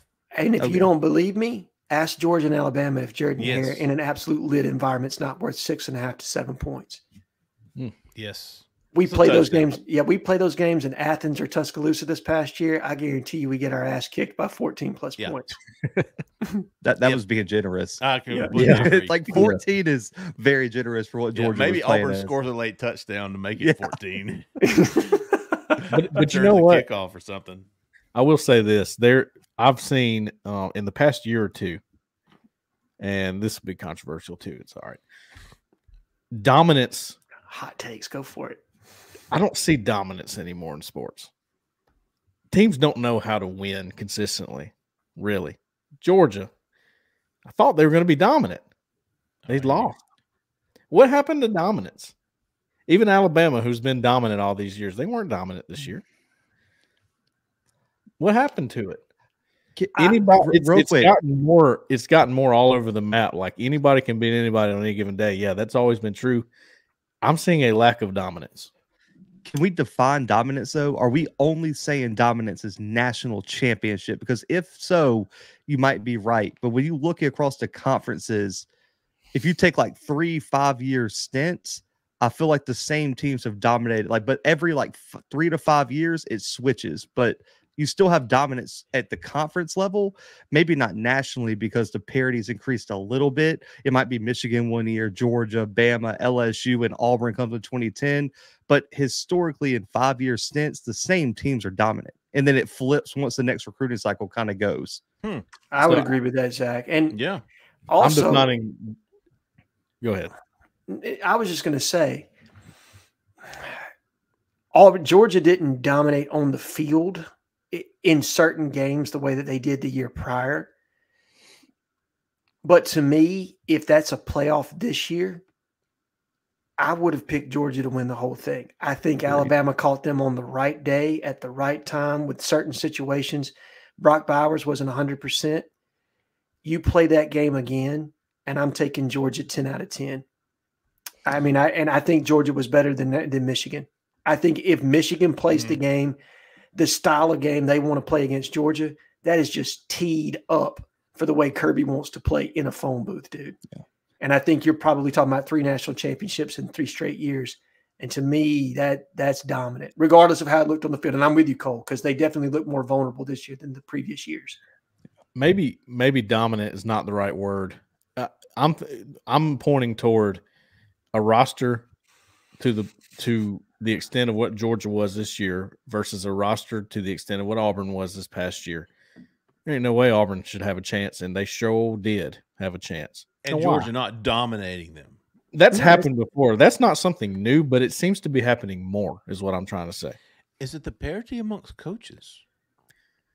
I think the transfer portal is a big part of it. If I'm being honest. I agree. I agree. eat, it's eating the depth of these teams that used to be able to stack talent. The Same same with Auburn and New Mexico State. They New Mexico Yeah. State had no business winning that game, and there I will use the word they dominated that game against Auburn. Yeah. Let me ask you guys a question since we're we're talking big picture right now. If they move to an employment model, I mean, we're, we're we're already in an employee model. We're just not calling it that right now, right? But say we move to a full scale employee model where you have contracts, revenue share. Um, do they scale down the rosters to more something similar to NFL? And if they do that, how much does that increase parity? Because if you're only saying able to pay 60 guys, now that's another 25 guys that used to be on somebody's roster that were high, that was high end talent, right? Yeah. How does that change the math as it pertains to everybody else? And how does that filter out? Hmm. Because I do think that you're going to shrink roster size to be able to pay all these guys. I don't think there's any way you're going to be able to pay 85 the way some people are presently being compensated. Why? How was how was Auburn able to stay in it with Georgia and Alabama? Besides home field, I is that, or is that the sole reason? I think it well, A, I think the money's changed some things somewhat. I think kids are not necessarily it's harder to get them motivated. And then I think the grind of a season, it's hard to get up and play on emotion the way you need It's- to. It's motivation, but I can't figure out why the motivation's not there exactly. And I don't want to just make assumptions, but there's no way Auburn should be running over Georgia's defensive line, but they did. And they shouldn't mean- be doing that to Alabama either, and they did. I honestly think with Georgia, you saw a lot of, and this is just coming from me watching them throughout the year. You saw a lot of compla- of complacency, which is hard to get college kids focused. But guys, they were on like a 30 game win streak. I agree. Do you know how hard it is to get kids locked in? Like it, Kirby's got to go in that locker room and convince them that Vandy can beat them on Saturday. And they're like, we've won 30 games, coach, two natties. We've been number one for 60 straight weeks. They can't beat us. And I think that Bama game kind of woke them up. And you saw what happened when they really lock in. Even with the, I don't care about the opt outs at Florida State. That was going to happen regardless if Keon Coleman played, regardless if the backup quarterback was healthy. You saw what Georgia could be. I think a lot of coaches have to fight complacency now because uh, how do you get a kid locked in every week to play every single team 12 13 games on the schedule well you see that in the nfl right and those guys are paid professionals getting them motivated week in week out so i mean well, much less it's not incentive based they're they're controlling the money if if you're good enough you tell the university what you're going to be paid not the other way around and there's no incentive for that. All right, I got my money. I'm good. You dropped a bag on me. I don't. I, there's no incentive for me to be good or bad, and I can leave whenever I want to. Now that's the thing, and this is where when we talk about we're in a pro model, and, and where I get so agitated at some of the national people that talk about this on a on a daily basis. Um, where they talk about how coaches can leave. So why can't kids? And I, I, think that's a fair point, right? But I think these coaches also have buyouts. And I think these coaches also weren't earning the kind Contracts. of money that they're earning right now when they were 18 years old. And it's a completely different situation. Right. So if you're going to be able to earn money, and I think you should be able to earn money, I think it is your God given right to be able to be paid for what you're good at. I also believe there should be certain levels of regulation that if you're going to take a paycheck from somebody, you have to honor a contract. That's how it works in every. It, I'm in the military. I sign a contract, and by God, the United States government holds me to it. Right. Mm-hmm. That's how it works. But in today's football, you're able to sign an NIL contract with a collective where it's completely unenforceable because it's not coming through the school. So there's no way to hold it, hold you to it. So if you transfer, technically, that collective can hold your rights if they want to continue to pay you. Hmm. But who wants to pay somebody on somebody else's roster? So hmm. it's just it, it's a hard a hard situation right now to wrap your head around if you're a college head coach. But back to the original question. I don't even remember what it was. I don't know where we were. We're, we're so far away from that now, right? I, I think it was we were talking about dominance because we were we were oh, on Cole's point. I think you're going to see dominance, but I think people have to adjust their expectation of what dominance looks like. I think winning national championships or multiple playoff appearances, but undefeated seasons because of the number of helmet games you're about to play year in and year out, because the SEC is going to go to a nine game model. And then what happens if we expand? Do you increase that even more? Somebody's got to take the L at some point. So your adjustment to what dominance looks like has to change, or, it, it, at least it's to me, it would be a reasonable expectation for it to change. Anyway, our our guy Decones, I think, has the better word consistency. That that's what more so what I'm talking about. Where there there's not a consistently, I mean, a team that's gonna you you know you can bet on that team to win, and win and take care of business. That used to be Alabama. That used to be, you know, Georgia. Now it's up in the air more so than it ever has been because you don't know who's more motivated that day. I, I think that has played a lot into, and I'm seeing it in basketball too. It just has. I think it's part of everything that we are dealing with now with college football. I can't believe we had an hour and a half show and didn't talk about Auburn's incident play appearance. I'm kind of glad we did. I'm gonna nobody, be honest man. Nobody want to talk about that. no. I mean, let's That's get kind of what I'm talking about, honestly. Yeah. But yeah, we got, we got spared because UConn is uh beating Northwestern 40 to 18 at halftime right now. Look, North UConn would have beat Auburn to death. yeah, I mean, I, I, th- I, but here's the thing: how much different does the fan base feel losing in a Sweet 16, getting into the yeah. second weekend? I, I think that was the benchmark that most of the fan base wanted to see. Now, I'm going to be honest. I've seen some of the commentary, um, and I'm not going to call any names, but some of the things that have been said as it pertains to Bruce that I just absolutely disagree with. I mean, I you're never going to get me to agree with some of the things that were said as it pertains to you know, win or be gone. Like when you look at the depths of what he brought Auburn to, he's got the most NCAA appearances of any coach in Auburn basketball history. He's got two conference championships and two SEC tournament championships. So half of what Auburn has done over its entire history. The only Final Four appearance. There are teams that go out in the first round every year. Virginia happened last year when Furman hit that big shot against them. Yeah, Purdue, Purdue, multiple years in a Mhm. row. Kentucky, two two of the last three years. Yeah, right. Guys, it happens. It's not the end of the world. Yes, it was terrible and you are you deserve to be disappointed. But be realistic in your disappointment and and be cautious in some of the things you say. Okay? It Yes, you're entitled to hot take, but be measured, okay? Be respectful. I, I'm I'm just I don't understand some of the things that get said sometimes, and I understand that's passion and that's fandom, and fan is short for fanatic. But I, I just, given what he's done at Auburn, I just, I, I, thought there were some sh- there's some things that were said that were over the top completely. So uh, eight days, April sixth. Uh, I will say this, but, you know, looking ahead for the week, the next time we reconvene here on the show, Caleb Edwards is coming in from California. Auburn's going to practice again Tuesday, Thursday, and Saturday this, this week.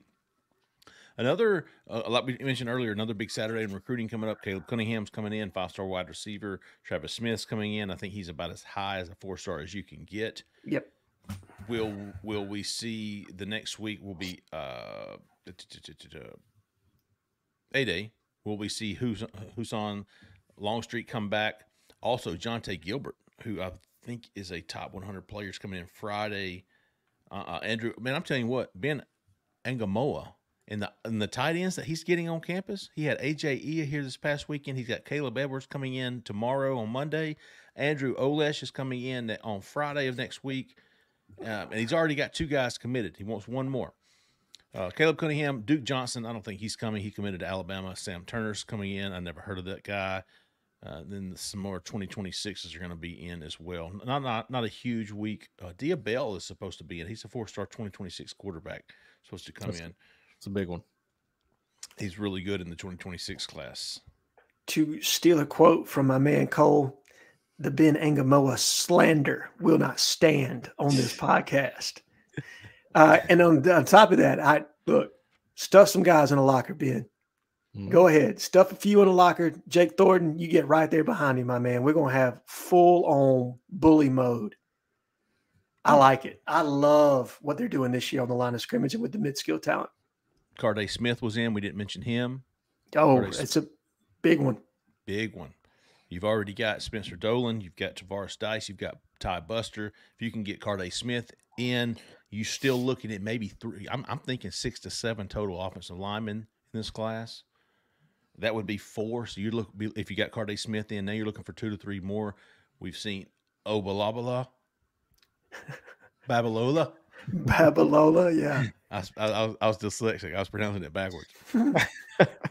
um, who else was in there? Oh, the kid, uh, just Josh Petty was in. Yeah, Got Birdie it. Shaw. Brody Shaw was in. Man, you can get one of those three guys to add on. Yep. So a lot looking good on the offensive line. Who's the uh the guard from South Georgia that's coming up to visit Ward? Is that correct? Yes, that's a very important one. Jacoby Ja- Ward. Jacoby. Jacoby Ward is coming in. and his um, teammate is Herbert Third Scroggins, who we Oh, I- yeah. The I- I like. I love that kid's tape. I, I Juan mean, I, Gaston was another one that was in too. Who, who's that? Juan Gaston was also oh, in. big one. Great day in the morning, that dude. Yeah, gosh. let me put y'all on the hot seat real quick. Oh, Carday Smith. I know what he said in y'all's interview that he's going to wait to commit right before his senior year. Do you guys think he lasts that long? I don't.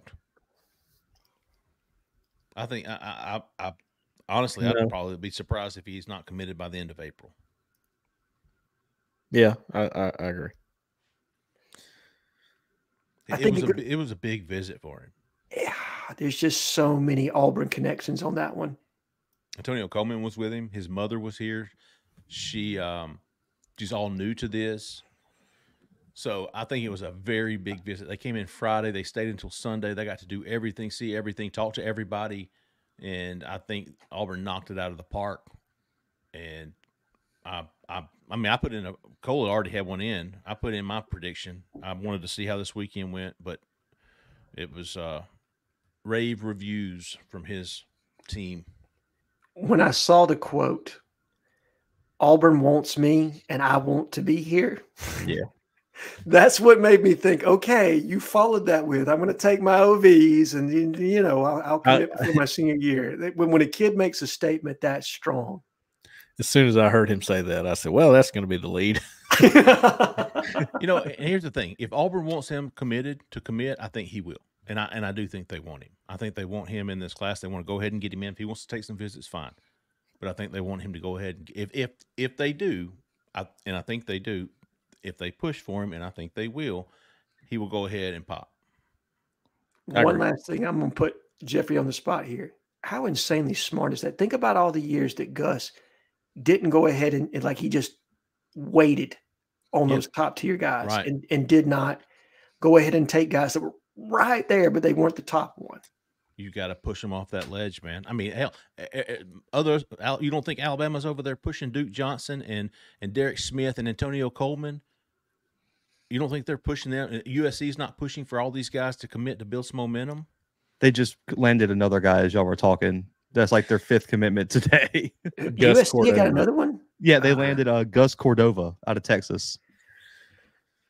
And there is We is there's there's monetary incentive here to go ahead and commit. I mean, it's it's not illegal anymore. I mean, I mean, it, it- here's an extra five. We want you in right now. correct. And I wonder if they're working an angle with California state law on that one, Zach.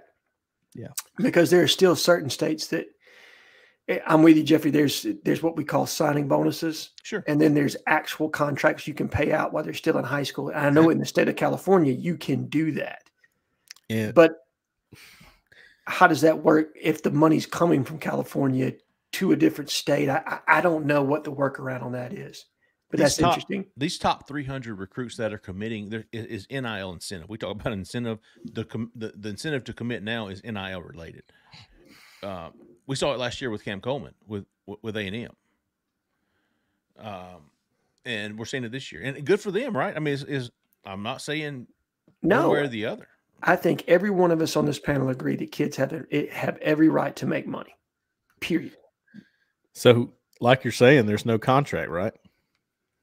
That's the thing. You know what that means. Correct. They can flip again. There's nothing to hold them to that. They can take your money Yeah. and walk away. and don't have to give it back. And you don't have to look any further than what just happened at Iowa this week. Kadyn I was about Proctor. to say, Kadyn Proctor said, "I'm gonna be here for a month, then I'm gonna be, I'm gonna go right back to my apartment." I'm gonna deuces. I'm gonna take my hundred grand that you gave me and I'm gonna say peace, I'm out. If if you're feeling overwhelmed by this right now because it sounds so dreadful, I understand that. There is a way around this though. There is a way for the market to correct itself. Schools have got to not do that. That ain't gonna Now, happen. That's not going to happen. But what starts happening when your investment's bad? And there's going to be some bad investments out there. You're going to be very, very, you're going to be hesitant to make a similar investment. certain So businessmen will. got to, you got to let the market correct itself. It's going to take a year or two. It's going to take maybe fi- five to 10 years. See, But I said happen. that I said that like two years ago, Cole, and I just don't know, man, because you have so many boosters that are so competitive about their team. Like that is their passion. You you think about some of these guys that post on the message board, and then you think about that passion that runs that deep with somebody that's got a several million dollars in the bank. And they just want to win, man. They don't care what it costs. They just want to win. Yeah. And so I don't know if the if the market's ever going to correct itself unless there's some version of regulation. I just don't. I think that, that there will always be somebody that will pay somebody. There's always somebody that's going to want to pay that kid. Always, always has been, always will be. Correct. And the question is, is Auburn able to find different sourcing? That's my thing. I think we've got some passionate guys too that are absolutely bankrolling NIL right now. But when you exhaust that, do you have the opportunity to have additional revenue? And that's that's what I don't know. And I, I hear you on that. That's that's the course correction, Cole. I'm with you. Do you burn through who you have in your arsenal? It's got Yeah, and- and you, you at some point, and and I think schools were doing this at first. Now they're starting to go, well, it's, there's no way I'm going to keep my job if I don't do this. They were going, look, this is your NIL valuation for us. You want more than this? Not going to do it. This is our hard line we're setting with you. This is how good we think you are, basically. But they realize, well, I'm not going to get anybody if I do that. So maybe it's just wishful thinking on my part. I don't think it's wishful thinking. I think there's some some logical thought to it, Cole. I just I Well, just thought the, I'm the course thinking- was going to I'm thinking strictly monetarily and how the market works, you know, generally works because that's what this is now. I mean, this is a huge market. It is, man. In a normal business, I would agree with you. But I just I feel like there's so much passion with college boosters that it's hard for me. Like they these guys were spending money on facilities for no reason before, right? You know what I mean? Year over year. Now you're just moving that pot. It's no longer facilities. You're investing in personnel. Auburn Auburn timed it perfectly. They got their new facilities because all money now is going to be going to personnel. Absolutely. I was talking to Laramie Tunstall. He, he's been working out at Auburn every day, and he was talking about the facilities, and he was like, "Man, NFL, they don't have, they don't have, our facilities aren't even this nice because they spend all their money on the players. Correct. And they know they got him under contract. So what are you going to go do? Yeah, Do you you? gonna leave us because they got a better facility over there? No, no. You- you're going to choose us not because of facilities. You're going to choose us because we value you more. We're going to pay you more. And to me, that will be when the colleges regain power, Cole, is when you do enter into collective bargaining and now they got you. Okay. And here's the thing kids are living their best life right now. Okay. I- and this well, is not Oh me. man, They're going to fight that. They're going to fight that. You know, these kids right now have it made. because they can transfer whenever they want. They get paid now at this point. There is nothing to keep them from entering the portal multiple times to do a, what I would call a market evaluation of your skill set. Now, I don't blame them. If I were these kids and I were their oh, age, Oh, yeah, I would sure. do the same thing. Okay. How do you know? When you enter into collective bargaining and now you have a contract that holds you to it, and here's the thing these kids also, some of them don't quite understand how much a scholarship pays for and don't think that's not going to come out of your contract now. Okay. Don't think that bottom of that 70 grand in aid that you get each and every year, housing, food, in pro contracts, all that comes out. You're paying for your travels sometimes. Mhm. These kids don't pay a lick for travel at this point. So I think it's going to be an eye opening experience when we finally get to that next stage. And not just because of the football aspect of it, but what is it going to do to all the other Olympic sports? And, and I've been talking about that. People don't realize how a how an athletic department works where you got really two sports that generate revenue and everything else runs at a deficit. And are you really going to continue to run multiple? Like Auburn has 18 athletic programs, right? There's no way you're going to fund all those. You're going to do what you got to do from a Title IX standpoint to make things equal, and you're going to roll with like six, and everything else is going to be a high end club sport. Yep. Real quick, my final thoughts.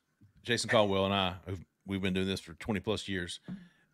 Standing up there, we were talking about, I think Cole, you might have been in there as well, but watching the players come into the facility, dude, we, you know, we were, we remember when there were mopeds and bicycles, dude. Now you got jacked up trucks with spinners and, you know, Camaros. I mean, these guys are driving cars and trucks, and it was just, it's just, it was, it's a big change from what I remember. You know, I- I'm not, I'm sounding a little bit like Phillip Marshall, aren't I? Back in my day, I used to walk to the facility. You know what? If we could only be so lucky. Yeah, P. Marsh is one of my absolute favorites to listen to and to learn from in some of his writing, man. So, uh, Yeah, it- it- it- it's, it- a, it- it's a big change, man. Seeing all these, everybody drives a new car these days. Everybody's got a new car, no, a I new truck, jacked up. I mean, you know, and not just a new car, but I mean, with with with all the accessories. Mhm. Uh, all right, let's end it there, man. We're gonna come back uh, midweek. We'll have a little recruiting show Wednesday, and then we'll be back next Sunday. Keep an eye on Auburn Live on three for all the recruiting news, maybe some commitments, uh, maybe some surprise visitors coming in. We'll have all that at Auburn Live on three. Don't forget, we've got the uh, one dollar for two months for the YouTube listeners. AU one, AU Yeah. one, two months for one dollar. Don't tell anybody. Uh, we appreciate everybody tonight. Kevin got us started. Man, we had some really good discussion questions tonight. Kevin from Wilmer, Anthony, fantastic. Oh, as always, Alex from Moulton, and Steve from North Carolina, who says Cadillac will be back. He will be Yeah, back. did. We will, I, I've got it written down, Steve. I will apologize if and when that ever does happen. Uh, one more time, in or around Auburn, Opelika, Lee County, looking for real estate, looking for to sell your home, buy a home. Uh, look no further than uh, Miss Jessica Andrews. She's a five star realtor. I promise you. Don't call me a liar. I'm fighting words. Give her a call 334 704 4442. Tell her we sent you. All right, folks. Thanks again for listening. Thanks again for watching. We'll see you back next week for Alan Head, for Zach in the back, who stayed in the front for Cole Pinkston. I'm Jeffrey Lee. Man, y'all stay in that left lane. See ya.